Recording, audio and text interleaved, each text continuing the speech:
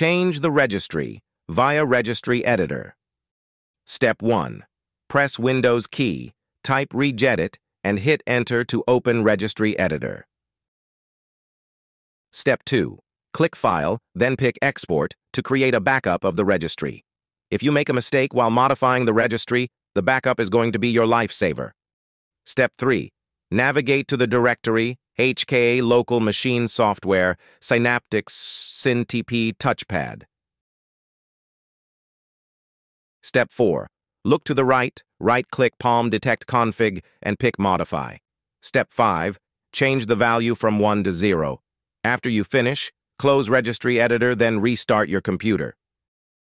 When the screen comes back on, you should be able to use the touchpad and keyboard at the same time. Disable Palm Check. Step 1.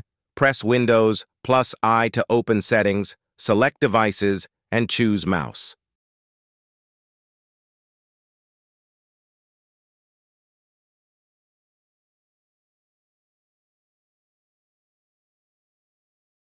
Step 2. Click Additional Mouse Options, go to Device Settings tab and pick Settings. Step 3. In Palm Check Advanced, move the slider all the way to the left to disable Palm Check.